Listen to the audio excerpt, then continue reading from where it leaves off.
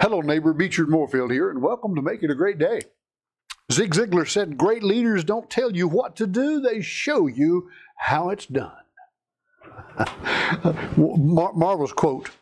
John Maxwell said that leaders know the way, uh, go the way, show the way. You know, they might change that around a bit, but that, that's what they do. It's, it's leaders don't just tell you how they or what to do; they show you how. Here, here's the reason. If I simply tell you what I want done, number one, you may not know how to do it. So now you've got to discover the process, learn the process. You've got to discover the resources, find out where they are, how to use them, how to implement them. And by the time you've done that, you've probably made quite a few mistakes along the way. And then by the time you finally figured out how to do it, how much time we wasted, how many resources have we wasted because we used them wrongly in the process. In other words, it's cost so much more. But what if I had shown you how to do it?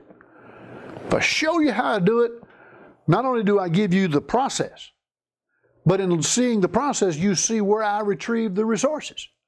And then you see how I utilize the resources in order to attain to the desired result.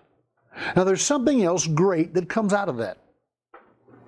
If I tell you what to do, you've got to learn how, you've got to learn all the ins and outs, a lot of learning time, learning curve, wrong things, failures, Find out where the resources are, dig them out, learn how to use them, how to recognize them, how to refine them.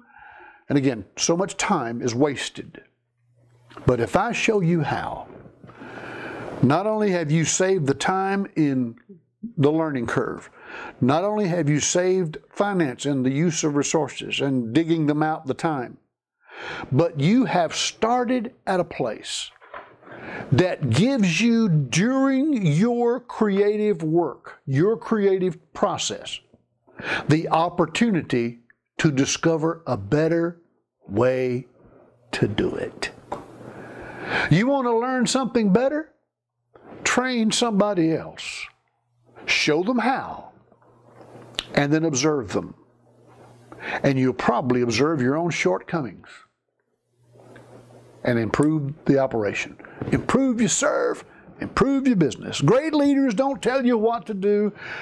They show you how it's done. Get out there today and show somebody how it's done and make it a great day.